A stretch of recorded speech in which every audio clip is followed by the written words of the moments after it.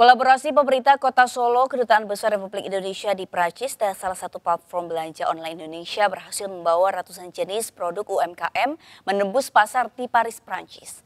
Selama satu bulan ke depan produk UMKM tersebut akan dipromosikan dan dijual di salah satu pusat perbelanjaan tertua di Paris.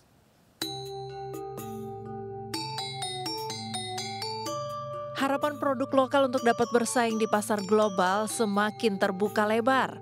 Melalui kolaborasi antara KBRI Paris Prancis, Pemkot Solo, dan Shopee Indonesia, ratusan jenis produk UMKM Indonesia berhasil menebus pasar Eropa setelah lolos proses kurasi ketat.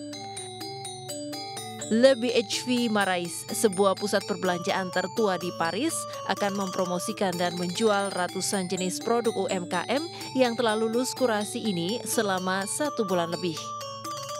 Acara yang bertajuk Java in Paris, buah karya anak bangsa di Paris yang berlangsung pada 8 Juni hingga 17 Juni 2022 ini juga menampilkan produk UMKM asal Solo.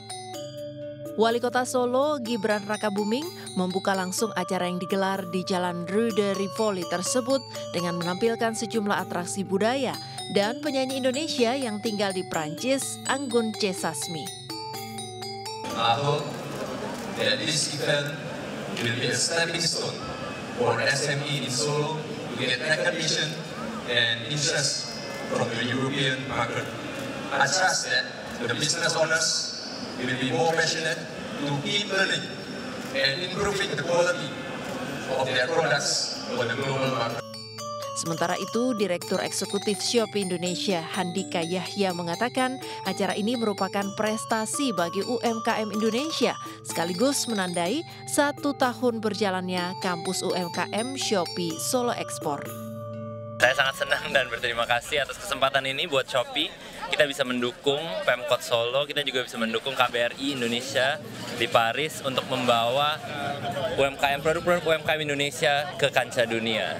Ya Shopee selalu akan menjadi rekanan partner dari UMKM Indonesia untuk naik kelas dan untuk lebih baik lagi.